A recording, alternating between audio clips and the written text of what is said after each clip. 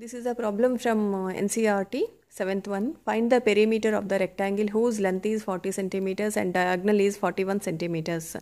So first uh, underline the uh, words, important words, perimeter we have to find out and length of rectangle is 40 centimeters and diagonal is 41 centimeters.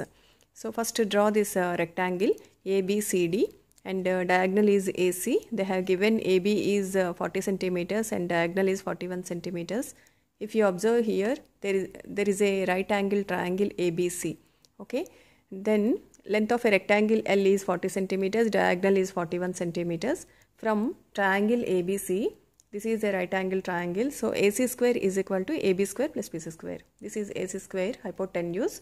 So this is uh, this square is equal to this square plus this square from Pythagoras theory. So AC is 41 whole square is equal to 40 whole square plus BC square. Now we can calculate BC square is equal to 41 whole square minus 40 square. So this is 1681 minus 1600 that is 81. So BC is equal to square root of 81 that is 99 centimeters. So now we have to calculate perimeter of the rectangle.